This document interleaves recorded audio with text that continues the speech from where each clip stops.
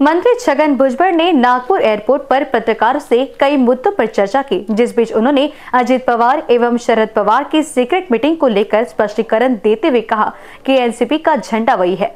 अजित दादा अपने पारिवारिक संबंध के कारण पवार साहब से मिलने गए होंगे। किसी के लिए बुरा महसूस करने का कोई कारण नहीं।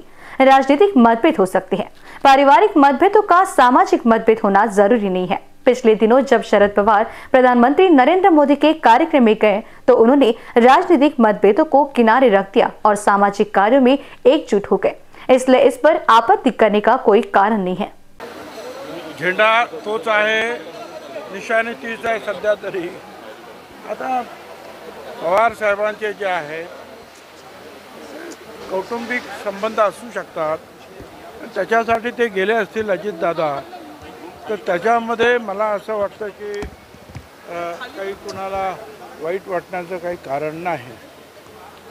राजकीय मतभेद असू शकतात. पण कौटुंबिक मतभेदसुद्धा असायलाच पाहिजे असं नाही.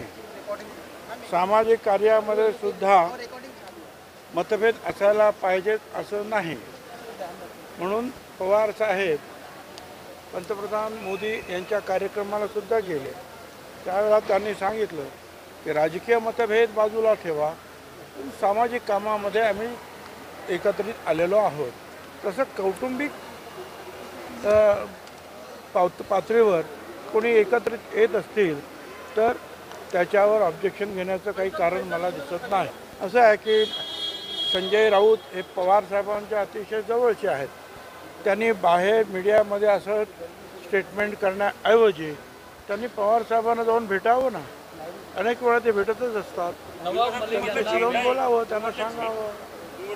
अजून आम्ही असं आहे की आमची राष्ट्रवादी काँग्रेस पक्ष जे आहे हे आता आम्ही अजितदादा यांच्या नेतृत्वाखाली मंत्रिमंडळामध्ये आम्ही सामील झालेलो आहोत.